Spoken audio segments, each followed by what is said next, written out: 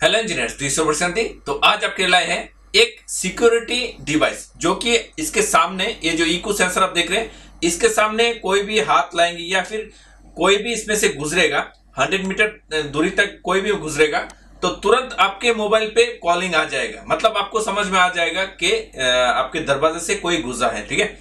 तो ये जो प्रोजेक्ट है, ये किस प्रकार से हम लोग आसानी से घर में बना सकते हैं, वो आज हम लोग सीखेंगे और देखेंगे। किस प्रकार से ये काम कर रहे हैं। तो चलिए शुरू करते हैं आज का video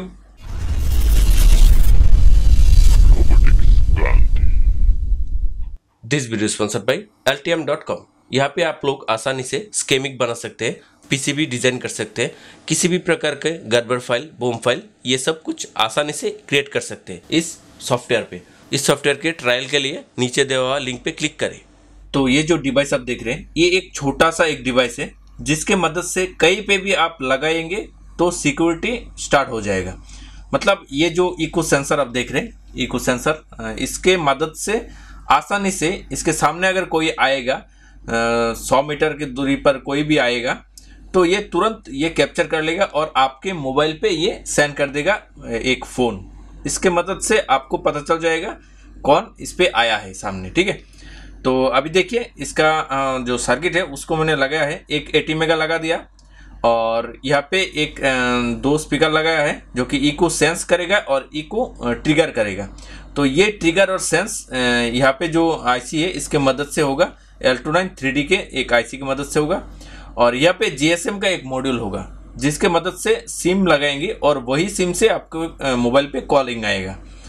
तो ये जो सिम है, इसका इनपुट आउटपुट आपको दिखा देते हैं। तो ये जो यहाँ पे हमने सिम लगा दिया है एक, और इसका पिन कुछ पिन है तो पिन का नाम है। यहाँ पे जो फ़र्स्ट पिन है, वो आप लोग एंटना यूज़ करेंगे। तो एंटना को यूज़ करने के लिए ये पिन पे कनेक्शन करना होगा।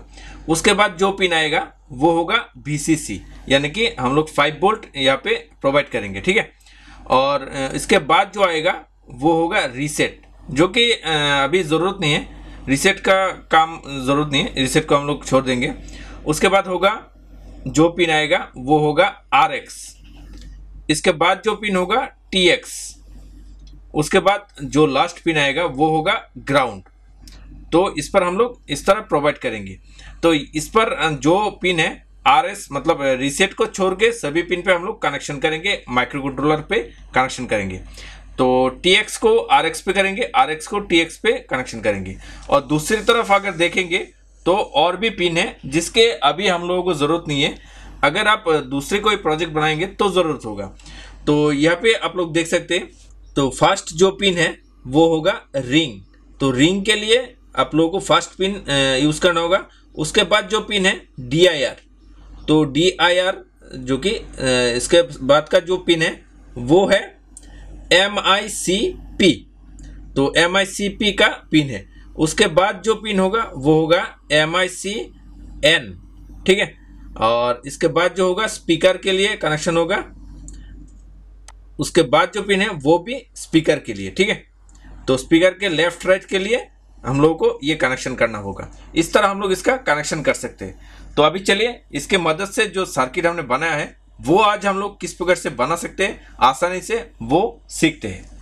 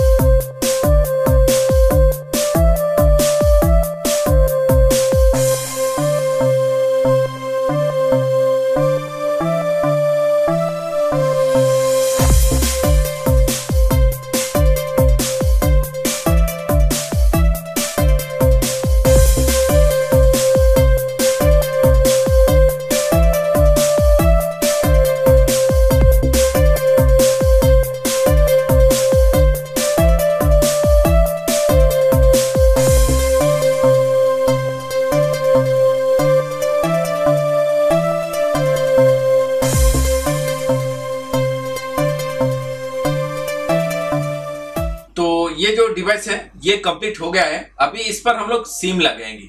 तो सिम लगाने के लिए हम लोग को कोई भी जीएसएम सिम ज़रूरत होगा मतलब 2G या 3G जो कि सिम होगा, वही इस पे यूज़ होगा। तो वो सिम हम लोग इस पर लगाएँगे, उसके बाद हम लोग इस पर प्रोग्रामिंग डालेंगे। प्रोग्रामिंग पे एक चेंजेस करना होगा, क्योंकि प्रोग्रामिंग पे आपका जो मोबाइल नंबर है, वो इसमें डालना होगा। क्योंकि कहाँ पे फ़ोन करेगा वो नंबर इस पे नहीं डालेंगे तो आपके मोबाइल पे कॉल नहीं आएगा। तो अभी इसको सिम डालेंगे, उसके बाद हम लोग प्रोग्रामिंग पे जाएँगे और प्रोग्रामिंग देखेंगे किस प्रकार से मोबाइल नंबर कहाँ पे डालना होता है। तो चलिए, अभी इसको सिम लगा के हम लोग टेस्ट करते हैं।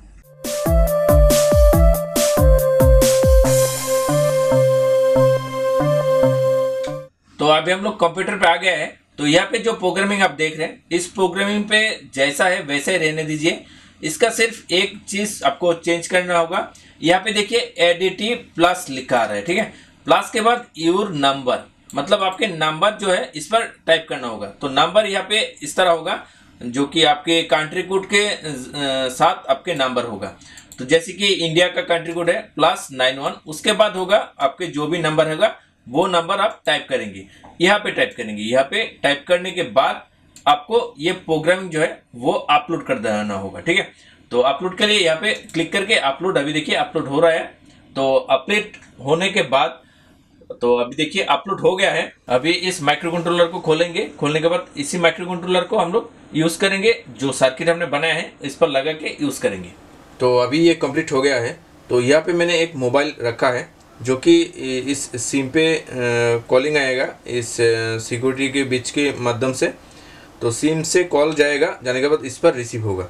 तो अभी आपको दिखाते हैं तो जब भी इसके सामने कुछ आएगा तो ये कॉल इस पर रिसीव हो जाएगा। तो देखिएगा, मैं इस पर हाथ डाल रहा हूँ। तो हाथ इस पर डाल दिया तो अभी कॉल आएगा इस पर। तो देखा आपने, इस पर कॉल आ गया है। तो इसके सामने जब भी हाथ लाएँगे या फिर इसके सामने से कोई गुजरेगा तो तुरंत आपके मोबाइल पे कॉलिंग आ जाएगा। तो ये जो प्रोजेक्ट है, ये बहुत ही अच्छा एक प्रोजेक्ट है।